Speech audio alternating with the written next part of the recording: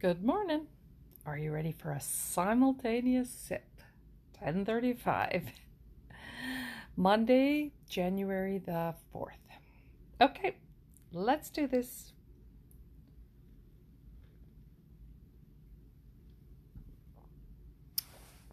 So, I was going to start this week off getting up early. And that would have been a great idea because I stay up too late and I seem to sort of have some nights like that where I can't sleep. So I got up at 1.30 going, well, I'm not asleep yet. I think I'll just sit out in the living room for a few minutes, um, watch outside my front window. As I'm doing that, I hear my husband get up. Oh, he must be not able to sleep either. The thing is, he gets up and starts the coffee machine on. I get up, I go, What are you doing awake? Uh, this is crazy. It's 1.30 in the morning. He says, it's 1.30? I thought it was 7.30. I thought it was time to get up. Ah, he thought he'd slept a lot and slept in. I shouldn't have told him. it was very funny.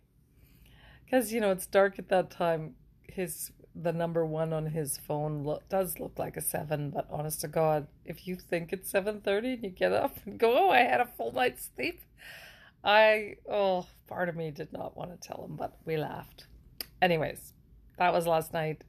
Looking forward to going to bed earlier and earlier and getting a better routine going so I can have coffee sips with you at a normal time in the morning. This is way too late. For you, it's a, probably a mid morning sip.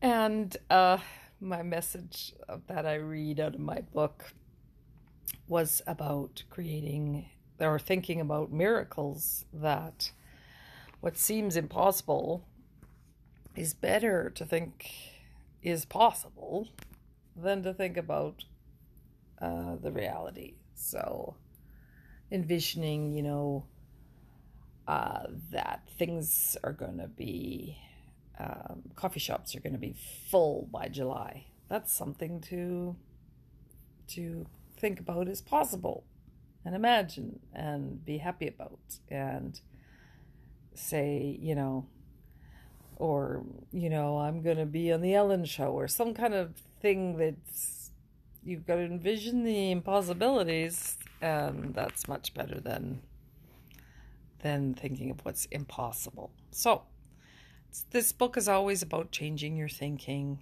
Um, it starts the beginning of the year starts off saying, you know, that our thoughts about things are not all that important.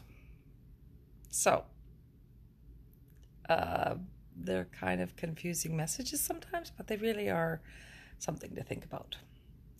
Okay, I hope you're enjoying uh, your morning, that you're starting your week off right that you're envisioning what's possible and that you have uh, some beginnings happening today at the beginning of this week. Okay, have a great day.